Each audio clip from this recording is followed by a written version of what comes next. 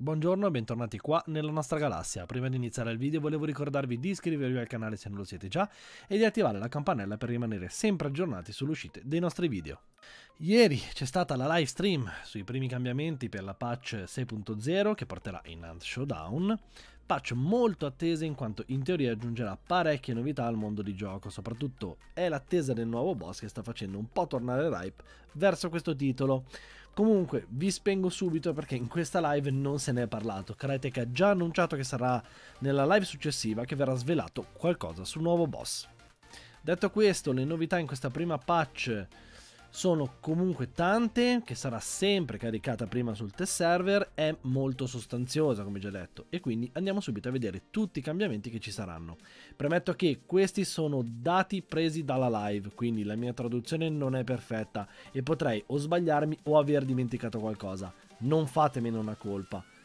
Anzi, scrivete qua sotto al video se ho sbagliato qualcosa e mettete la versione corretta, così che tutti possiamo leggerla. Ovviamente vi ringrazio già ora se capiterà la prima novità, ma è praticamente lo standard della patch Crytek, è che ci sono le nuove varianti estetiche degli Hunter. Nulla di particolare, tutto già visto. Il secondo cambiamento è stato fatto sull'uso degli oggetti come le cure, che ora dovrà essere premuto il pulsante F, o meglio tenendo premuto il pulsante F, per poterle utilizzare, e non sarà più immediato.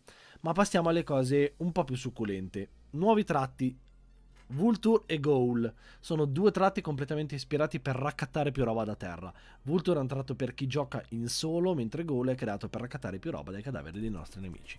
Adrenaline, nuovo tratto, il tratto coniglio che fa in modo di uscire da situazioni pericolose dovute alla mancanza di adrenalina per l'appunto. È stato inoltre cambiato il tratto Pitcher. Sono stati cambiati gli effetti del veleno, che sono ora molto più facili da minimizzare e non creano quel caos che creavano prima. Direi un buon cambiamento soprattutto quando si incontrano le Hive. Vedremo comunque nel PTR se questo funzionerà. Ora, aggiunta delle armi, ce ne sono tre... Mm, ce ne sono tre nuove, scusate. Due trappole e un cambiamento delle flash. Iniziamo dalle armi. Nuovo revolver, il, il Lemat, si chiama così, o le mat, non, non so se è francese o meno, beh comunque. Revolver stile uppercut con una particolarità, oltre ai colpi classici delle pistole revolver ha un colpo da fucile a pompa. Particolare, molto bello da vedere, da provare sicuramente. Nuovo e bellissimo bolt action, veramente fantastico per mio conto, il label. Guardate il video e capirete il perché, ovviamente guardate il video della live, perché qua ovviamente io ho preso uno spezzone della live perché non potevo fare 40 minuti di video, quindi vi lascio il link in descrizione, comunque andatela a vedere, è abbastanza facile da trovare. Ma so che tutti state aspettando la lancia bomba. Ora, è insane, totalmente insane, è un'arma assurdamente forte, almeno per quel che si è visto.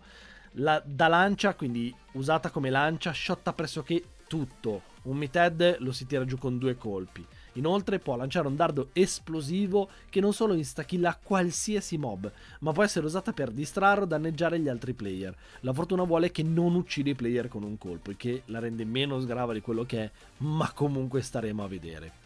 Le Trip Mine eh, che dire, due nuove bellissime introduzioni nel gioco, due mine, la prima di avvertimento che si installa facilmente sotto porte o finestre e passandoci sopra fa sparare un razzo di segnalazione. La seconda che invece esplode creando una piccola concertina, bellissima e dir poco, questa me la porterò dietro sempre. Sono state cambiate inoltre le flash bomb che attualmente fanno poco o nulla, in pratica creano un minimo cambiamento di luce in chi la riceve, ma per il resto non servono a niente. E ci sono stati anche dei cambiamenti per gli shotgun, che però sinceramente sia per le flash bomb che per gli shotgun vorrei aspettare almeno la patch note prima di parlarne un po' più decentemente. Continuiamo comunque in questa live hanno inserito parecchie cose. Parlando della mappa Lawson Delta in cui sono state aggiunte nuovi oggetti grafici e livelli di mappa. Andando a completare tutto la mappa nel proprio stile ovviamente Ricordiamo che Crytek ci ha sempre portato novità, eh, cambiando e inserendo nuovi elementi sulla mappa, magari andando proprio ad aggiornare la grafica e i livelli della mappa per evitare eh, i camper, quindi è una cosa già vista e sono già sicuro che funzionerà.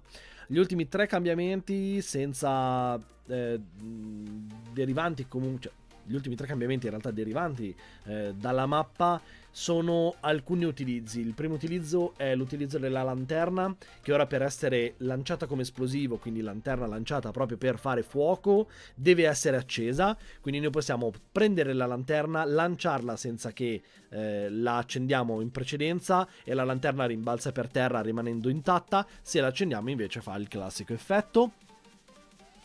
I corvi che ora hanno un pattern diverso di attivazione, potremmo andargli un pochino più vicini, soprattutto se andiamo accucciati, così che eh, possiamo magari girarci attorno e non dobbiamo fare giri assurdi per evitare che si attivino, cosa alquanto gradita questa come cambiamento. E ultimo, ma sinceramente per me un cambiamento di poco conto, è l'uso degli ascensori. Eh, niente di particolare, hanno cambiato leggermente l'uso degli ascensori in discesa, neanche in salita. Ultimo upgrade invece è stato inserito il libro dei mostri, quindi vabbè è un upgrade come un altro, sempre facendo parte della lore. Credo di aver detto tutto e con questo chiudo, grazie a tutti per avermi seguito, GG a tutti quanti.